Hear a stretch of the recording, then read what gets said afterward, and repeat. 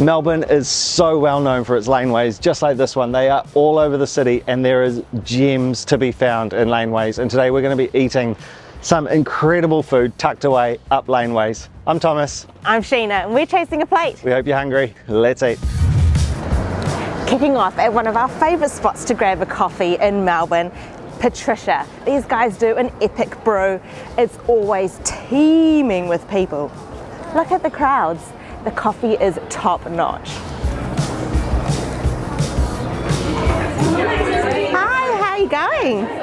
Good. Um, can I grab two magics, please? You know, it's a popular morning spot when the line is like that for a coffee. This is such a cute place. The coffee is great, like Sheena said, but the place as well is awesome. The staff are always super friendly. It is just a fantastic place to start off your day. And this is what today's going to be like dining at places like this, super popular, tucked away, neat places, places you just got to visit, you got to try, you got to have. And this is good. I can't wait for coffee. Thank you. Thanks so much. Perfect. Thank you. This is so Melbourne. Sitting in a laneway on the curb, drinking a coffee, an excellent coffee. I ordered a Magic, which is a three quarter flat white. Honestly, it doesn't get much better than that. Absolutely delicious, incredible team. Sadie's enjoying her fluffy. This is a great way to start the day. How is it?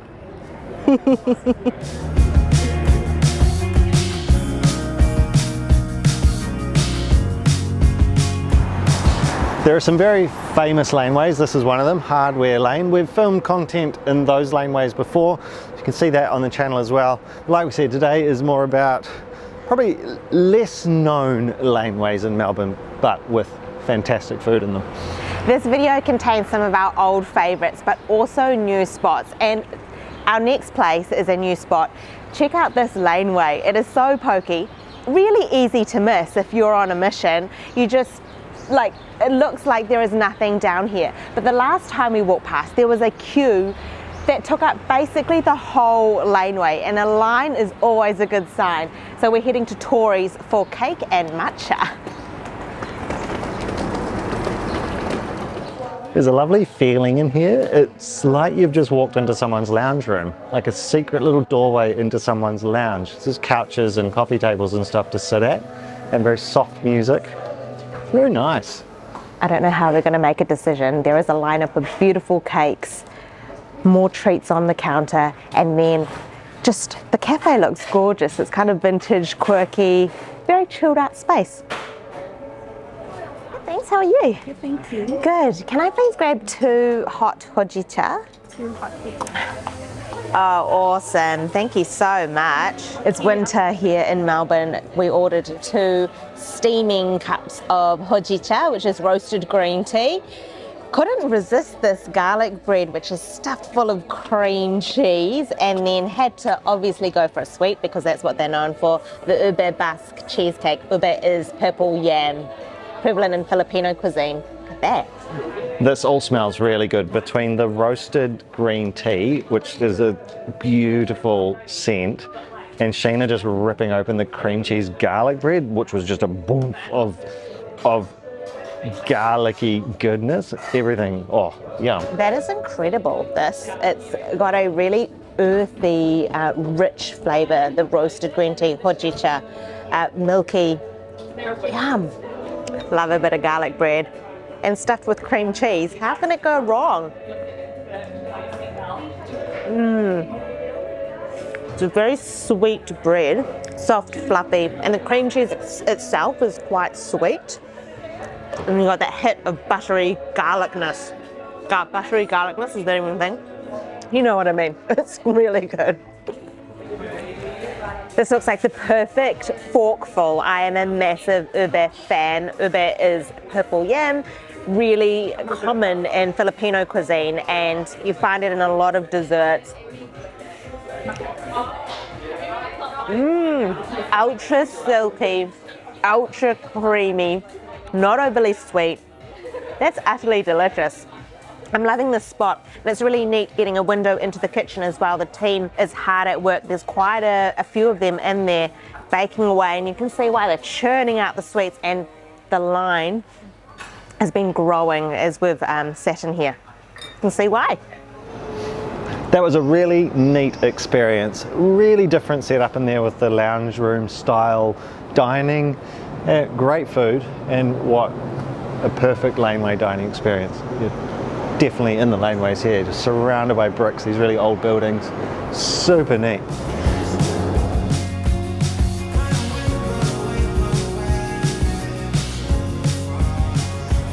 Time for some Thai food now. This one's pretty neat. It's tucked up a laneway, but also in a basement. So again, feels pretty undercover actually.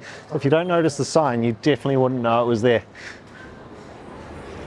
I love this place for Thai. It's sort of our go-to when we're in Melbourne CBD. They do just great street food classics. This place is called Dodee Paidang and it is always a surprise when you come in here because it's very big. You, you're coming from a little laneway down a little flight of stairs but then it just opens up into this pretty massive restaurant, a lot of tables. We've ordered up a little mini feast and some uh, drinks. Yes. Thank you.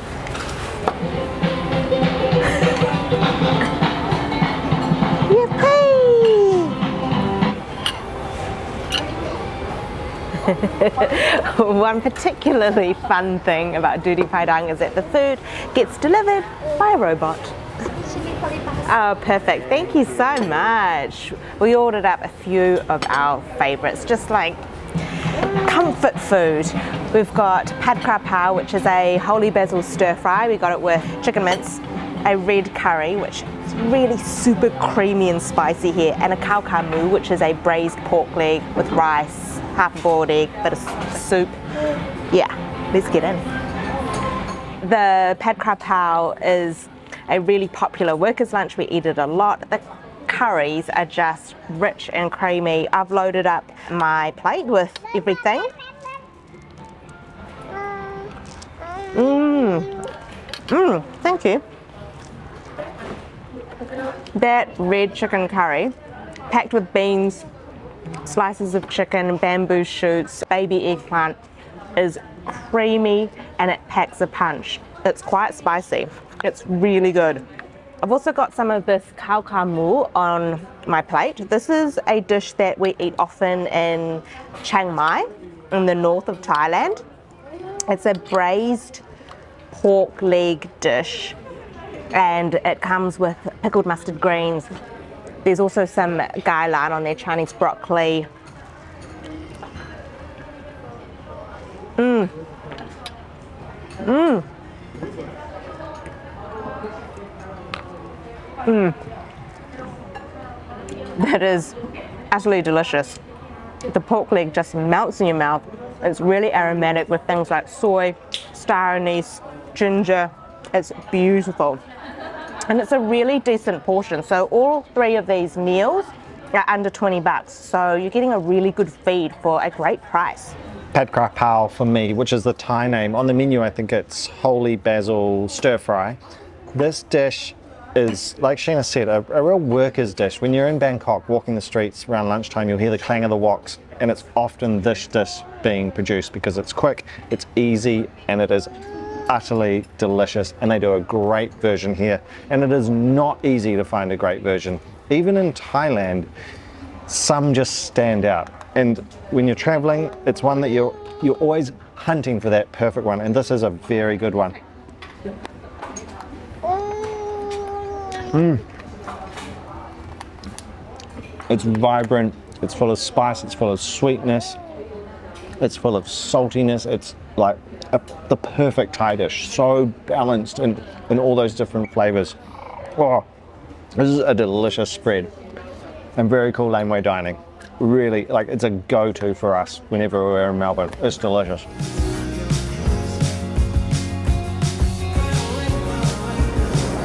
Sometimes the banh mi cravings just strike and it's kind of hard to find a good solid banh mi option in Melbourne CBD but it just so happens we found one the other day, Heartbaker Bun Mee and it is so cute, it's up this tiny little laneway. It's a little takeaway only window tucked up this laneway, really cute spot. Perfect, thank you, yeah. Hey. Uh, Really sweet team. We actually opted for the combo, Vietnamese coffee and a crispy pork banh mi.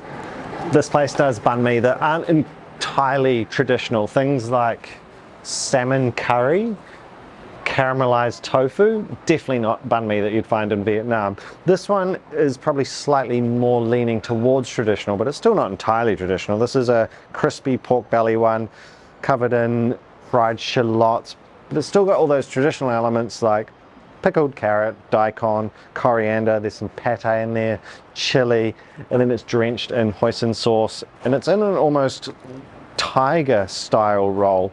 Very fluffy, crispy on the outside, very fluffy.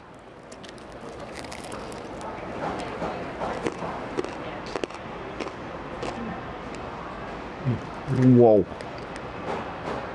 You hear the crunch? Mmm. The crunch on the pork is wildly good. There's such a good crackle on that. it's just packed with flavor. Freshness from the pickled vegetables. The meat is really nice, good meat to fat ratio. Hoisin sauce gives a sweet hit. It's a great sandwich. Man, cool little laneway, right? Like, it's lunchtime here in Melbourne. So you've got all the workers coming out, grabbing a sandwich. I think a good way to end a laneways video. Delicious. Hope you've enjoyed this one. Drop a comment down below, tell us what you thought. Thank you very much for watching. We'll see you on the next one.